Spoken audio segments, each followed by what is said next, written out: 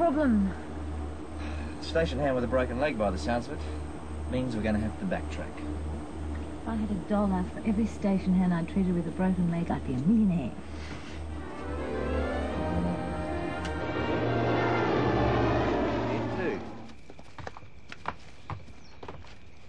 Let's have a look at this.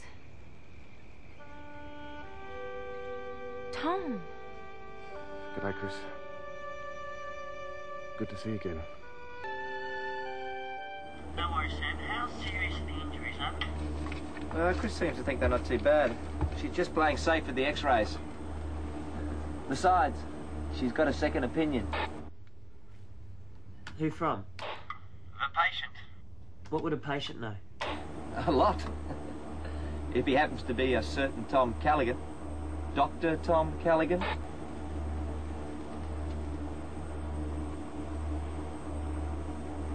How's the pain?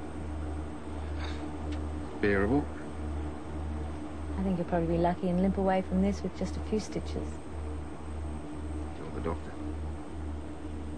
What about you, Tom? What are you?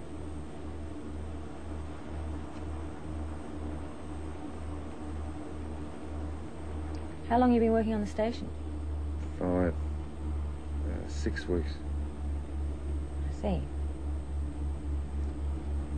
I was coming in. You don't owe me any explanation. Nothing's the same anymore, Chris.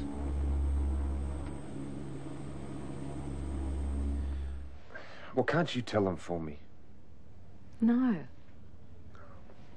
Oh, come on, Tom. You know this town as well as I do. You still mean something to them. You can't expect to come back in the district and get away without having a few drinks down at the pub with them. There's a bit of a difference between a few beers down at the pub and an all-out bush bash. What's the matter with you? You like these people. They were part of your life. You know how they feel about you. You have an obligation to them as old friends. Nothing ever changes out here except the date. Oh, I see. You're too good for us now, is that it? Of course not. Nothing like that. Look, they're expecting to see good old Tom Callaghan, the bush doctor without a care in the world. Well, he doesn't exist anymore. I'm going to disappoint them, Chris.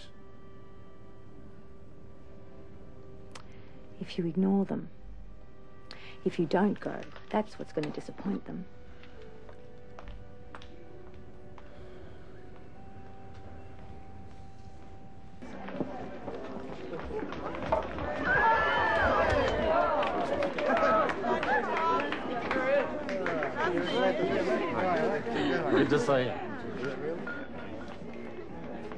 Welcome back, Doc. Thanks, Vic.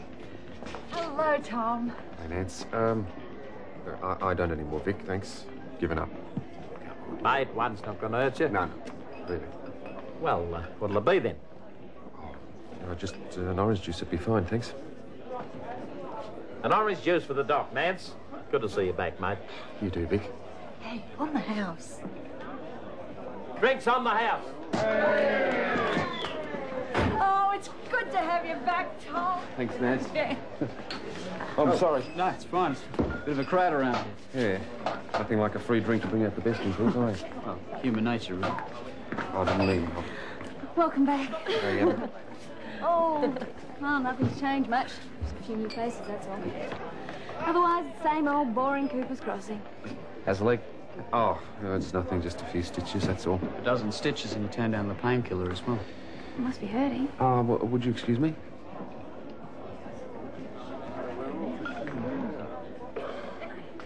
So what's a fully paid up member of the AMA doing fixing fences? Hmm, that's what I'd like to know. Maybe there's more money in it. Broken fences make easier patients. Eritrea, wasn't it? Eritrea. And Tigray. What about the people? The patients? I mean, from a medical point of view, it must have been overwhelming. Eritrea was like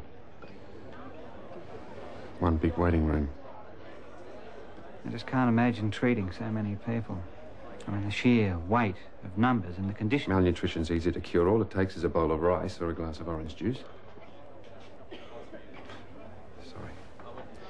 Haven't had call to use my social skills for a while. DJ, shut that racket up, will you, for a second? All the good work that the doc's done in the past. Nance and the good ladies from the CWA have whacked on a bit of a spread for you.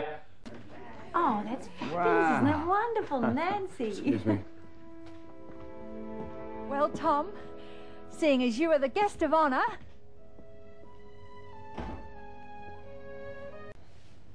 I'm sorry. Yeah, so are we. If I embarrassed you, I'm sorry. You made your feelings clear. Man's a mug for not checking with you first to see if you even wanted a party. Oh, I'm just about to head off, so I thought I'd better settle up for the room. oh, you don't have to worry about that. Oh, no, no, no. I'd prefer if you took what was owing. Twenty bucks, wasn't it? Ta take it, please. Thanks. Um, look after your leg. Hey, Tom. You're still the best damn doctor we ever had in this town, mate.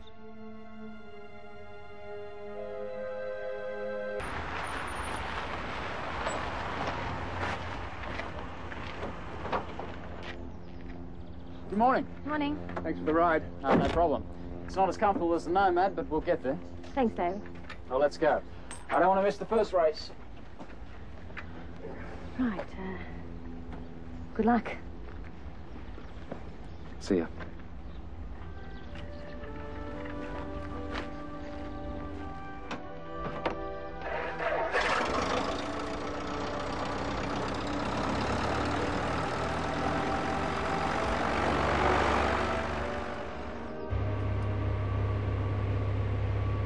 You didn't seem to enjoy yourself last night. Uh, yeah. I'm sorry. I didn't mean to hurt anyone's feelings. I'm sure there was no harm done. Not long term, anyway. Yeah, I hope not. So, you looking forward to getting back to work? Fills in the time.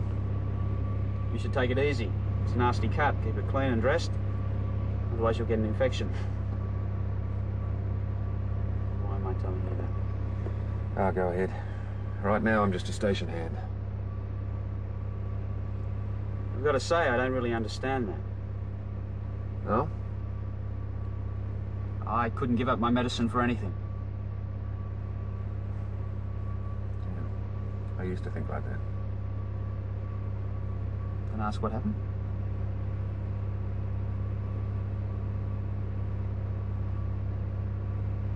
Which you don't want to talk about?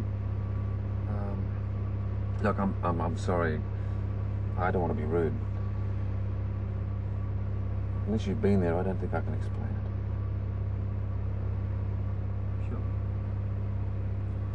A bit stuffy in here. Quick, open the window!